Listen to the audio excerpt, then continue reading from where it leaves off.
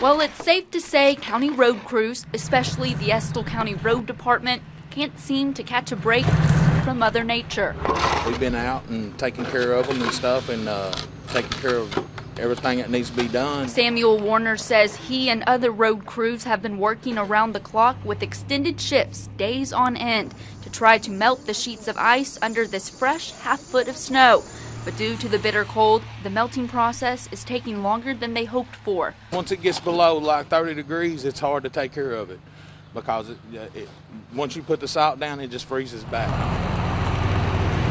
Although the main roads in Estill County have been cleared, drivers have shared stories to prove back and side roads are still dangerously slick.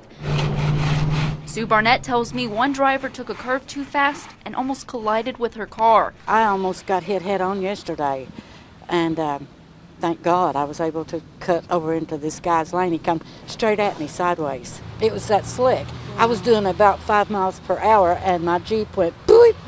it scared me to death. But until this ice finally melts, Sue says she has no choice but to drive carefully and slowly.